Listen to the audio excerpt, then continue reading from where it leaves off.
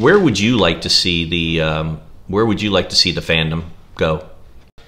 Just a little bit that I know, it seemed like the uh, the base has decreased the short time that I've been a collector. I really try my best to try to intrigue and show my collection off, hopefully making people feel that's pretty neat. I want to try that myself. I want to get some new ones. I'm going to try to start collecting them now from year on, uh, you know, the 23s, the 24s.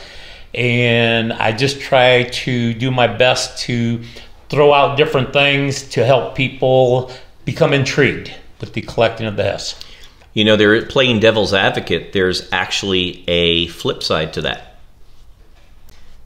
The the P's and the Q's, the less that's out there, the more valuable things become. Sure. You know, a lot of times, uh, something that I get every toy show, every meeting, every time I'm interacting with fans, I always get those people that are like, oh, I destroyed them when I was a kid. You know, I, I played with it. Well, first of all, yeah, you played with it. That's why you have the love to begin with. If you never played with it as a kid, you wouldn't have that love. You wouldn't be here. Sure. That's the logical fallacy right there, right?